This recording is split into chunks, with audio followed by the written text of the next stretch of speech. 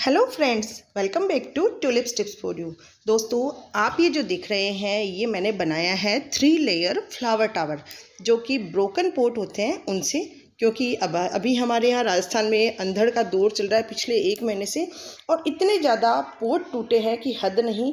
तो गार्डनर्स के मन में ये ज़रूर आता है कि टूटे हुए पोट्स का क्या किया जाए। तो ये देखिए दोस्तों, मैंने टूटे हुए पोट से ही ये फ्लावर टावर बनाया और काफ़ी खूबसूरत लग रहा है। ये मैंने बनाया था एक महीने पहले और इसको बनाने का तरीका मैं आपको बताती हूँ कि किस तरीके से मैंने बनाया है। और अभी इसका डेकोरेशन हल्का सा बाकी है कटिंग वटिंग वो मैं बाद में करके आपको दोबारा शेयर करूँगी। तो पहले मैं दिखाती हूँ कि मैंने ये फ्लावर टावर कैसे बनाया है। तो चलिए स्टार्ट करते हैं। देखिए दोस्तों ये मैंने एक प्लास्टिक का टब लिया है और इसके नीचे ड्रेनेज होल बनाए हैं और उसके ऊपर रख दिए मैंने ठीकरी के टुकड़े।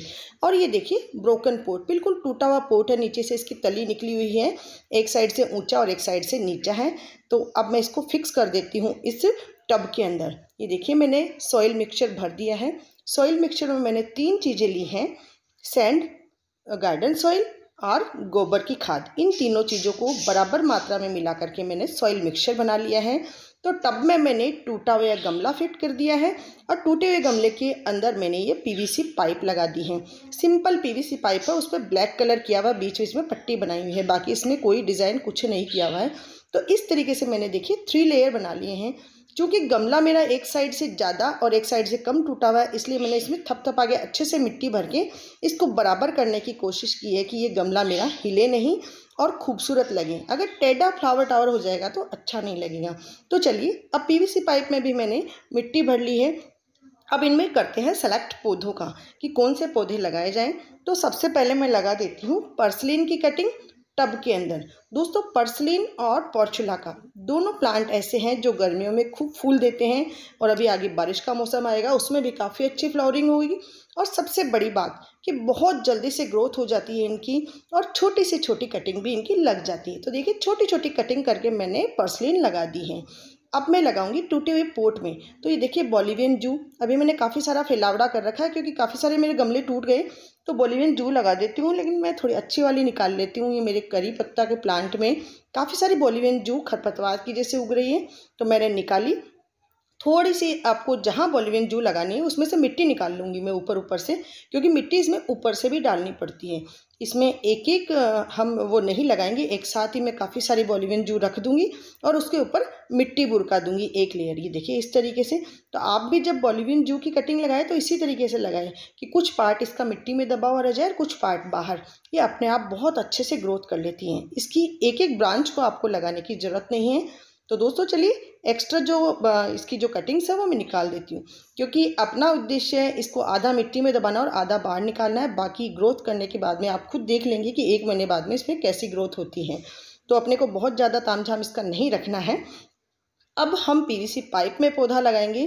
तो मेरे पास अभी फ़िलहाल ये साइप्रस वाइन के मैंने काफ़ी सारी पौध बनाई थी, बीज डाल के, जो कि आपने अभी गमले में देखे हैं।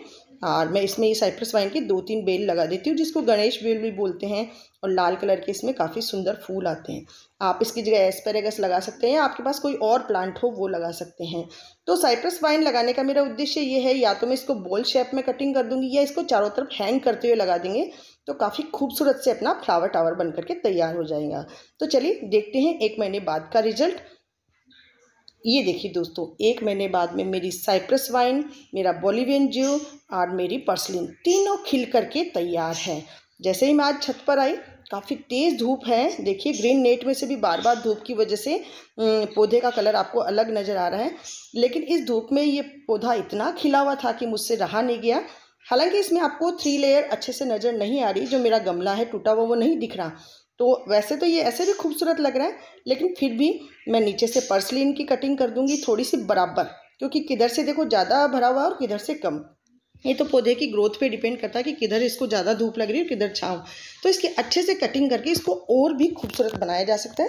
लेकिन देखिए नन्हे नन्हे सितारे जैसे फूल काफ़ी अच्छे लग रहे हैं और टूटे हुए गमले का भी यूज़ हो गया। तो दोस्तों, इस तरीके से टूटे हुए गमले का यूज़ करके हम थ्री लेयर फ्लावर टावर अपने घर पर तैयार कर सकते हैं।